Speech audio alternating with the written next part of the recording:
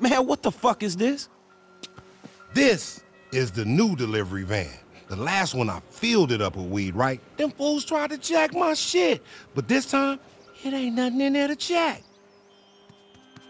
Because I made it a weed. Hmm?